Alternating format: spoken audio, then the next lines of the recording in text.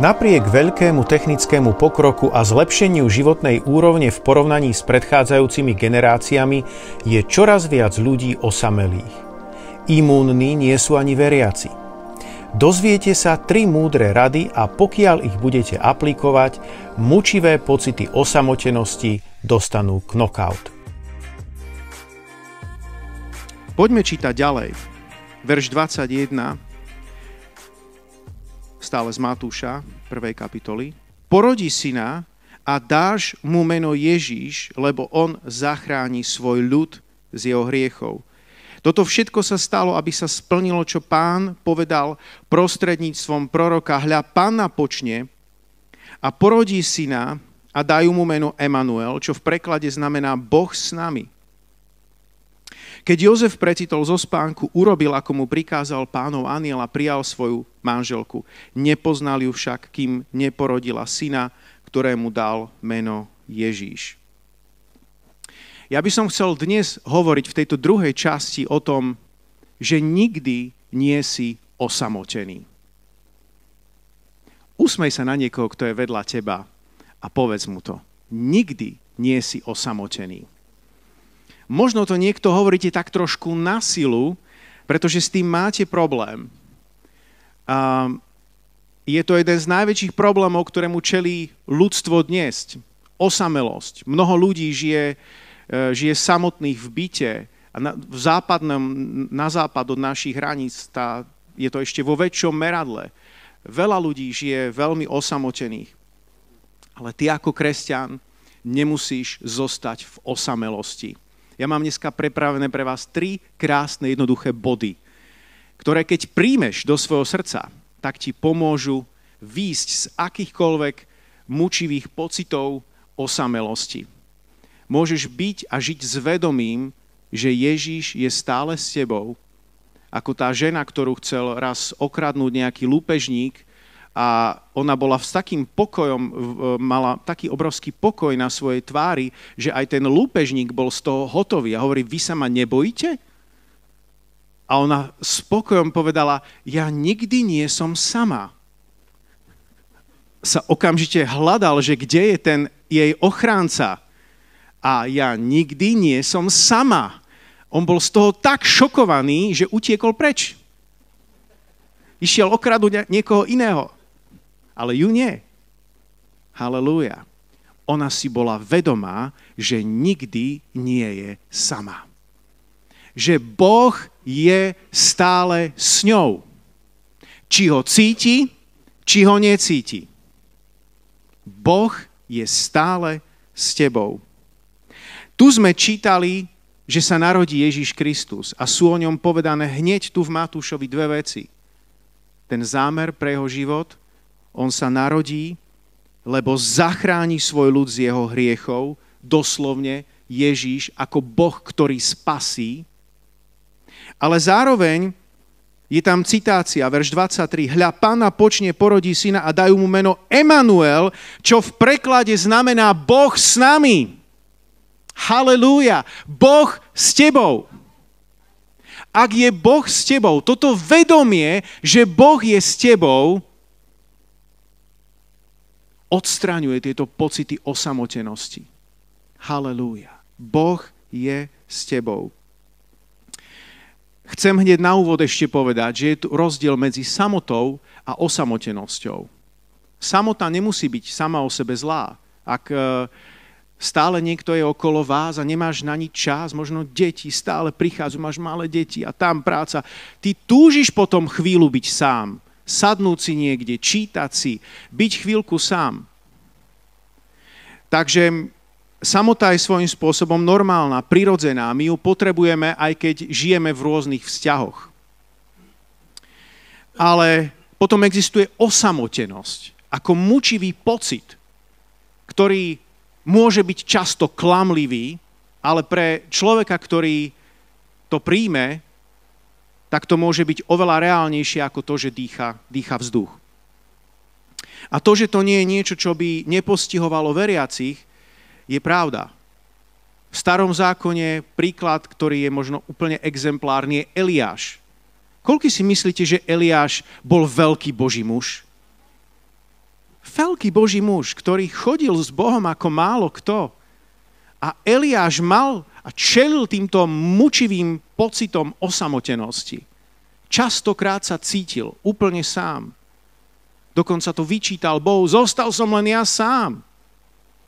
A Boh mu hovorí, zanechal som si v Izraeli, Izraelovi 7 tisíc, ktorí sú verní hospodinovi.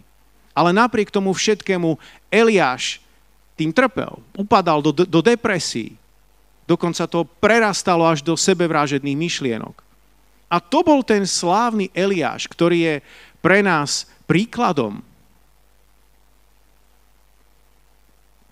Adam bol sám. Boh stvoril Adama, Boh stvoril človeka na svoj obraz a podľa svojej podoby.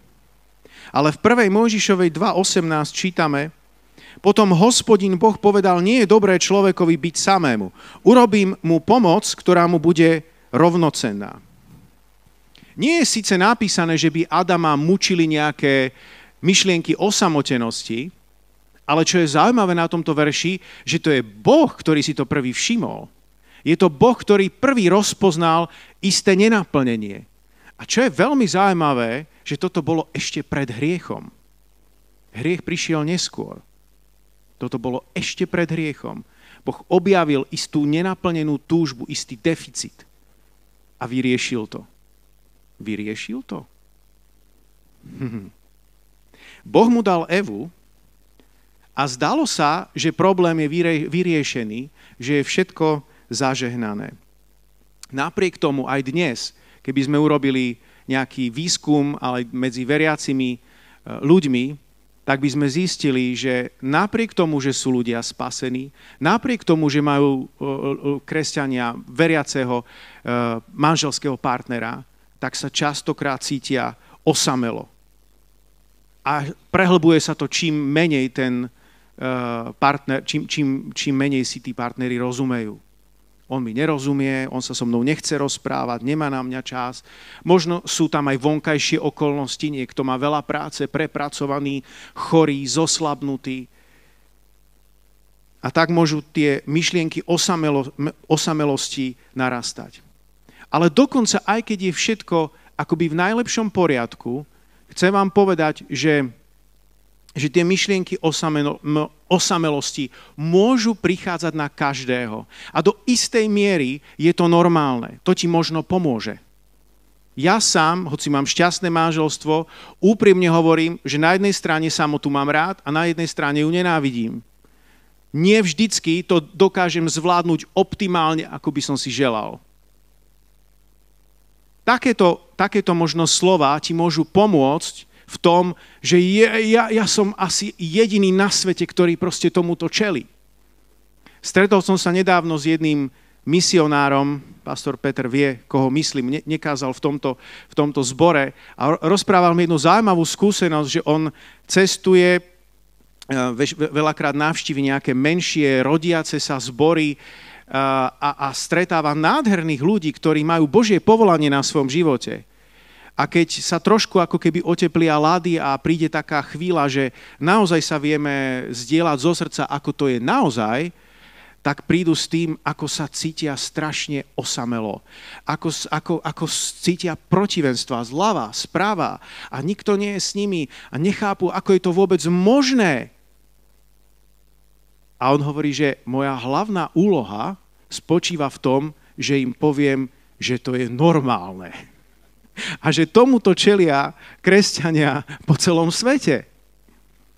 Pretože častokrát človek, ktorý je tým pohltený, si myslí, že to len ja, to len ja môžem zažívať takúto ťažkosť, nikto iný. Ale mnoho ľudí sa môže cítiť osamelo. A ja vám chcem dať dneska návod, ako cez to prejsť. Netvrdím, že to všetko vyriešime, ale ak budeš pozorne počúvať a dáš to do praxe, tak ti to môže vo veľkej miere pomôcť podľa štatistík v Anglicku 60% ľudí od 18 do 34 rokov sa často cíti osamelo. Mám ďalšiu štatistiku v Amerike. Ja myslím, že my nie sme príliš rozdielni od týchto krajín, čo sa týka mentality už. Takže myslím si, že to môže byť podobné aj v našej krajine. V Amerike každý druhý človek bez ohľadu na vek sa cíti pravidelne osamelo. To znie až strašne. Zistili vedci, že osamelosť postihuje rovnako ľudí, či vedia správne komunikovať, ako aj ľudí, ktorí sú viac introverti a ťažšie sa im komunikuje. Zistili, že to je približne rovnaké, nech sú ľudia rôznymi osobnosťami. Čo je takisto zaujímavé, že napriek tomu, že celkovo ľudstvo prosperuje oveľa viac ako pred 100, 200, 300 rokmi a ľuďom sa oveľa lepšie darí, teraz môžeš si odmysleť nejaké krízy, ale skúsa porovnať s, s predkami, s nejakými pradetkami, prababkami, ako žili oni za svojich čias. Bez pochyby je tu obrovský progres celosvetový. Napriek tomu ľudstvo sa cíti osamelejšie. Čím viac ľudia žijú individualistickejšie, čím menej žijú pre svoju komunitu, pre svoju církev, tým viacej narastá pocit osamelosti. Ak to prerastie istú medzu, tak vzniká z toho stres, ktorý považujú lekári za jedno z najnezdravších vecí, ktorá môže človeka postihnúť. Dávajú to dokonca náš úroveň, keď niekto pravidelne fajčí cigarety. A, a tvrdí sa, že to je dokonca nebezpečnejšie ako, ako obezita. A nebudem vás strašiť ďalšími vecami, ktoré som čítal alebo počúval na túto tému, uh, aby, aby ste neboli teraz z toho, že oh, toto vážne všetko. Naopak, ja vám chcem priniesť nejaké riešenie. Iba hovorím, že ten stres z osamelosti je naozaj vážna vec a ak to prerastie do istých chronických podôb, tak potom vzniká v človeku to, že ten mozog spúšťa isté obranné mechanizmy a ten človek sa ešte viac uzatvára pred druhými a pred okolím. Častokrát druhí ľudia sú, sa stávajú ako keby obvinuje ich, myslí si, že um, sú pre ňoho nebezpeční, uh, nevraživí voči, voči druhým a takisto je zaujímavé, že rastie domýšľavosť. To, čo tí druhí nepovedali, to, čo tí druhí nemysleli, človek sa cíti, že niečo tým mysleli a cíti sa ohrozený.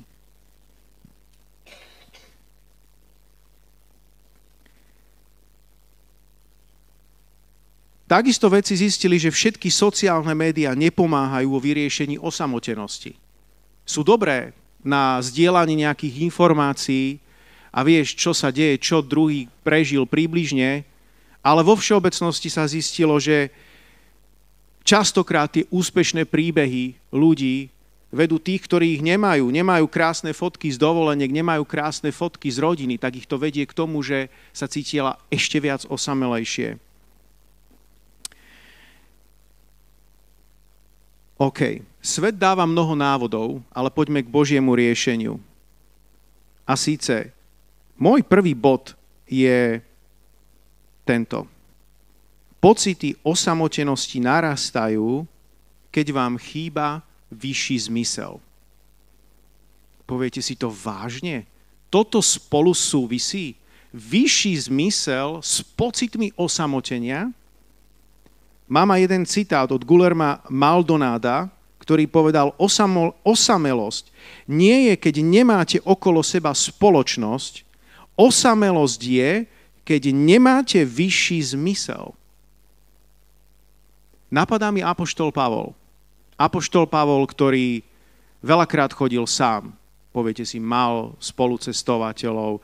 Mal, ale veľakrát na nich čakal. A to nebolo ako ty, že e, a ja, že sme nervózni, že 5 minút e, nám mešká e, nejaký kuriér, alebo čakáš 10 minút na autobus. On ich čakal niekedy dní, niekedy týždne.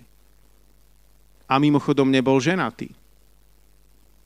Ale nevidíme a necítime to z jeho listov, že by to tam písal v takom depresívnom duchu. Ja chudáčik, ja som sám, ja, ja, ja neviem, ako to prežijem.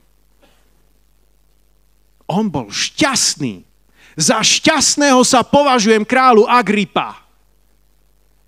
Cítiš z jeho, z jeho listov pozitívnu energiu, keď to tak môžeme povedať. Ducha Svetého, bol plný Ducha Svetého a, a ne, ne, nebol tam, nemal takú depresiu z toho, že on je teraz sám.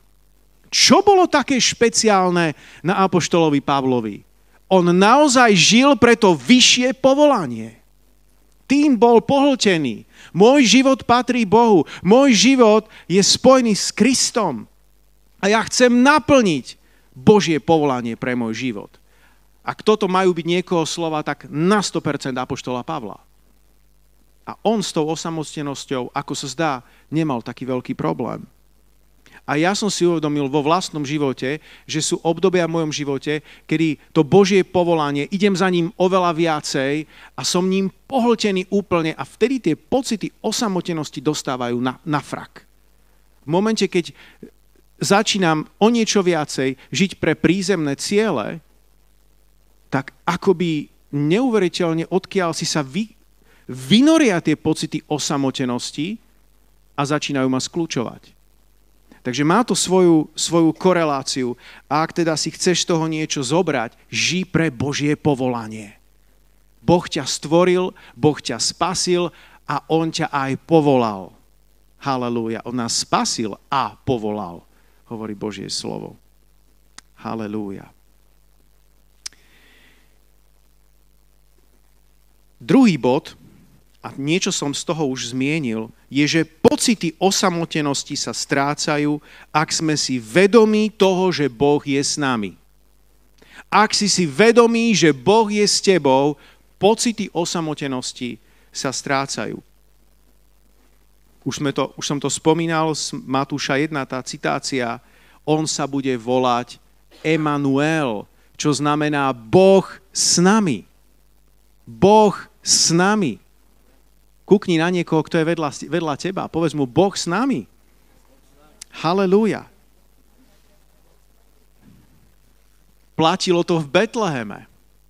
Platilo to kdekoľvek Ježíš išiel a kráčal počas jeho služby. On tam bol s nimi. On bol so svojimi učeníkmi. Ježiš ich utvrdzoval aj po jeho vzkriesení, že už to bude síce iným spôsobom, už sa ho nebudú môcť viac dotýkať, ale on bude s nimi až do skonania sveta. A dokonca zjavenie 21.3, počúvajte, čo hovorí toto, tu Božie slovo, a to je ten úplný záver dejín alebo histórie ľudstva. Boh bude s nimi prebývať a oni budú jeho ľudom. Bod kočiarka, on sám ich Boh bude s nimi. Aby to bolo akože jasné, pečiatka ešte na záver. Halelúja. Boh bude s nimi. Od začiatku ľudstva Boh, ako stvoril človeka, nenechal ho sám, nenechal ho samého, Boh bol s ním, stvoril mu Evu, Boh bol stále s ľudstvom, Boh poslal svojho syna Ježiša Krista. Emanuel, Boh s nami. Halelúja. Možno paralela s malým bábetkom. Ak sa narodí malé bábetko, čo potrebuje to malé bábetko? Potrebuje prítomnosť maminky. Byť tam pri jej, na jej prsiach. Byť tam. To je všetko, čo potrebuje to bábetko. Svoju maminku. A vonkajšie okolnosti nie sú natoľko dôležité. Tie nedokáže príliš rozpoznať.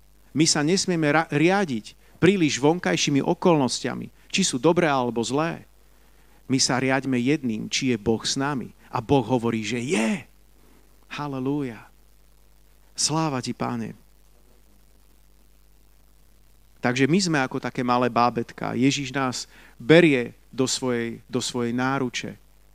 A my môžeme mať neustále vedomie toho, že Boh je s nami.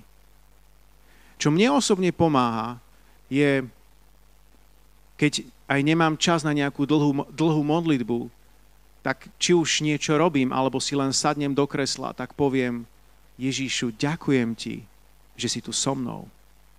Vyskúšaj to, ak si to nikdy neurobil. Alebo urob to, ak to robíš príliš málo krát. Ďakujem ti, že si tu so mnou. Ježíšu, poďme do tohto dňa spolu. Možno len jedna takáto veta, ktorá ti pridá vedomie Božej prítomnosti. Či ho v tej chvíli cítiš alebo nie, Povedz to vierou.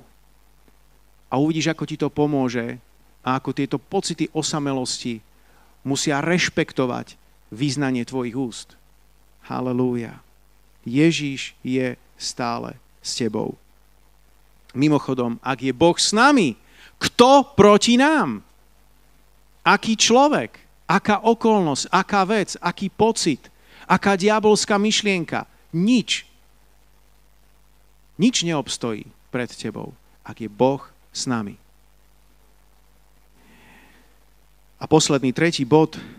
Pocity osamotenosti dostanú knockout, ak žiješ realitu vykúpenia. Ak žiješ realitu vykúpenia. Čo tým myslím? Ježíš na kríži vyniesol naše hriechy, vyniesol naše choroby. Mnoho vecí sa stalo na kríži. Ale jedna z dôležitých vecí, ktorá sa stala na kríži tiež, je, že Ježíš na kríži niesol našu osamelosť. Aj z tohto sme boli vykúpení. To nie je náhoda, že Ježíš na kríži osamel. Nikto tam nezostal, jeho blízky ho opustili. Ľudia si z neho robili posmech. A aby toho nebolo málo, opustil ho samotný nebeský Otec. Ten, s ktorým bol jedno, ten, ktorého miloval a Otec miloval jeho. Ten, o ktorom stále rozprával. Ten, ktorý mu dával rady, ten, ktorý ho utešoval.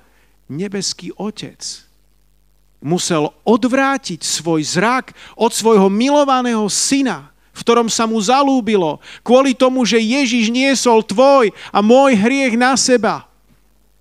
Ježiš kvôli tomu osamel na kríži, nielen od ľudí, ale od samého nebeského Otca. A volá na kríži, Bože, Bože, prečo si ma opustil? Ježiš to z lásky urobil pre teba i pre mňa aby ty a ja sme mohli byť vyslobodení z akýchkoľvek úzkostí, z akýchkoľvek pocitov osamotenosti. Toto je dielo vykúpenia. Ježiš zomrel za tvoje hriechy, Ježiš zomrel za tvoje choroby, Ježiš zobral tvoju a moju osamotenosť, aby sme vedeli, že už nikdy viac nemusíme byť sami, že už nikdy viac sa nemusíme cítiť osamelo, Halelúja. Halelúja. Ak túto realitu vykúpenia budeš žiť a pripomínať si, uvedomovať si, ďakovať za ňu Bohu, tie myšlienky o samotenosti nebudú mať šancu.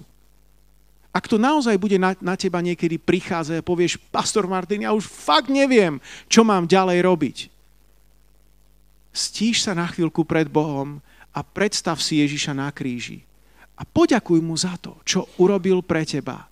Že zomrel za tvoje hriechy, vyniesol na kríž takisto všetky naše choroby a že zobral aj tvoju osamotenosť. Pripomeň si to. Ďakuj za to Bohu Otcovi.